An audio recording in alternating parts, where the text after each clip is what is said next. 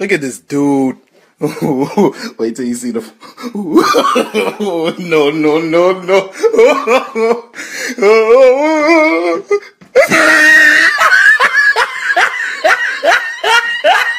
ah, look at the top of his head. E aí pessoal, bem-vindos a mais um vídeo do InfoStorm e no vídeo de hoje nós vamos falar sobre o Type 07. Esse que é um camuflado bem interessante, bem obscuro no mundo da militaria e pouco se conhece sobre ele. E nós temos a sorte de ter dois exemplares para para mostrar para vocês. Desde os anos 80, o PLA vinha usando umas variações de Woodland com suas próprias características e diferentes paletas para representar brands diferentes dentro do exército. Dentre essas diferenças tem o urbano, que era usado pelos paraquedistas, mas em paradas, não muito operacional, e o azul, usado pelos fuzileiros navais. Já nos anos 2000, o PLA começa a testar alguns novos camuflados, como por exemplo o Marpat, esse que viu serviço curto dentro do PLA numa versão copiada e modificada dentro do exército. Um pouco depois, as primeiras versões do Type 07 apareceram. A princípio eram quatro versões, uma predominantemente verde, feita para florestas, outra predominantemente CAC, feita para o inverno. E também usada bastante em ambientes áridos pelo exército chinês,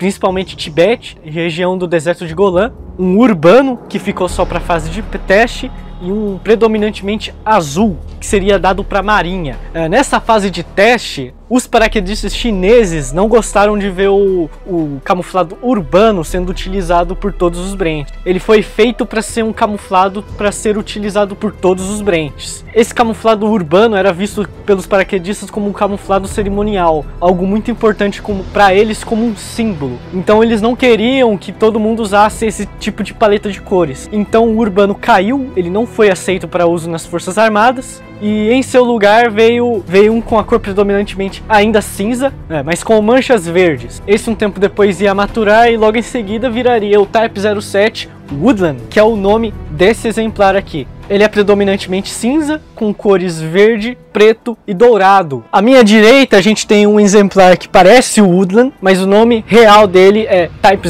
07 Jungle. O Woodland foi dado para todos dentro do PLA Ground Troops, a força terrestre do exército chinês. Por que, que eles não colocaram o Jungle? Porque o Type 07 Woodland ele foi colocado não só por causa da vasta urbanização chinesa, existem muitas cidades dentro da China, ele tem o intuito de camuflar o soldado dentro de áreas rurais e áreas urbanas, mas também porque o Type 07 Jungle era mais apropriado para outro branch, que é o branch responsável pelas bases de mísseis balísticas em terra. E essas bases, elas ficam afastadas das cidades. Então, Type 07 Jungle se faz muito mais útil para esse branch. E aí entra um assunto bem importante para o Type 07. É, nesse momento, em 2007, que foi quando a pesquisa pelo Type 07 começou, os Estados Unidos estava mexendo bastante com identidade de branch por camuflado. E aí entra uma questão interessante. O Type 07 Woodland entrou para competir com o UCP como uma camuflagem híbrida. E por isso que ele exporta tanto características de selva como características de cidade. E assim como o Branch responsável pelos mísseis tem a própria camuflagem, a Marinha e os paraquedistas também têm a sua camuflagem. A Marinha tem um camuflado azul bem parecido com esse daqui. Este aqui é um exemplar do corte antigo do PLA e ele tem um camuflado woodland chinês da Marinha. Existe muito debate sobre a qualidade da camuflagem. O exército chinês diz que os fuzileiros navais chineses eles irão combater apenas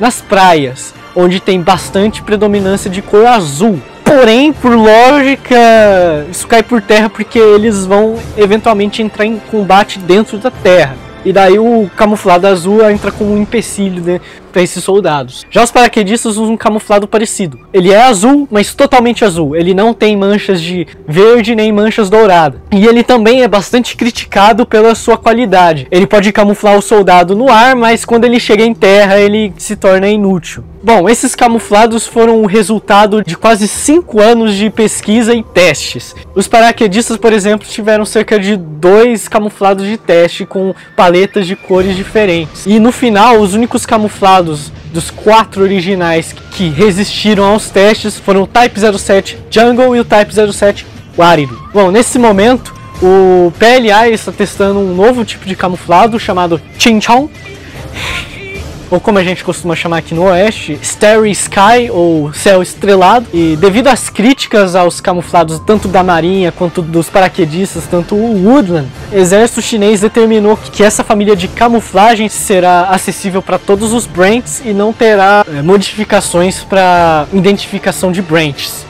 E bom, antes de finalizar o vídeo, eu queria fazer uma menção honrosa. Dentro de todos os padrões do PLA, existe um bem interessante, que ele é basicamente o PLA Woodland, só que as cores que não são a cinza são predominantemente mais verde claras. E esse uniforme é usado pelas tropas de OP4 que agem nos exercícios chineses para combater os caras que estão treinando. Então é isso, pessoal. Eu espero que vocês tenham gostado. Se vocês querem saber mais sobre camuflados asiáticos, a gente tem um vídeo sobre o Granite e o Wave Pattern, que são camuflados da Coreia do Sul, bastante interessantes. Vai ficar o card aqui em cima se vocês quiserem assistir. Deixem um like aí se gostaram. Não, se inscrevam no canal se você já não é inscrito e ative o sininho.